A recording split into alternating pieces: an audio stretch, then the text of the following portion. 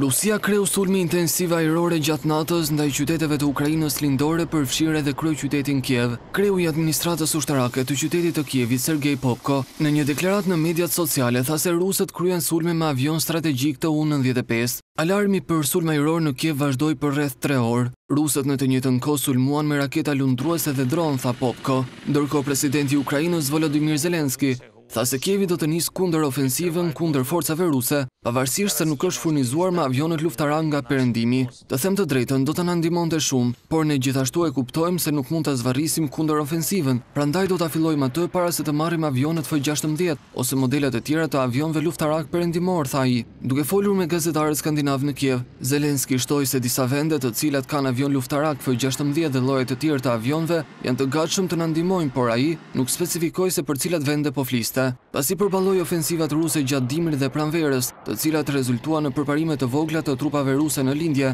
Ukraina tani shpreson të rimarrë rajonet e pushtuara në jug dhe lindje të vendit në një kundërofensivë në javët ose në muajt e ardhshëm. Ndërkohë, Yevgeny Prigozhin, themelues i grupit paraushtarak rus, Wagner, ka kërcënuar sërish se do të tërhiqte mercenarët e tij nga qyteti ukrainas i sulmuar i Bahmutit, nëse problemet e furnizimit me municion nuk zgjidhen. Kjo deklaratë erdhi pasi presidenti ukrainas Zelensky kërkoi ndihma me sisteme moderne të mbrojtjes ajrore, pas një prej sulmeve më vdekjeprurëse ruse ndaj civilëve në muajt e fundit. Zyrtarët ushtarakë ukrainas kanë thënë se humbja e Bahmutit, e cila ndodhet në kodra dhe ofron një mbrojtje natyrore, do t'i linte trupat e saj të hapur ndaj sulmeve ruse në pjesët e tjera të Donjeckut. Wagner ka udhëhequr përpjekjet ruse për të marrë Bahmutin që nga viti i kaluar, por nuk ka qenë në gjendje të largojë luftëtarët ukrainas, të cilët ende mbajnë cepat perëndimorë të qytetit.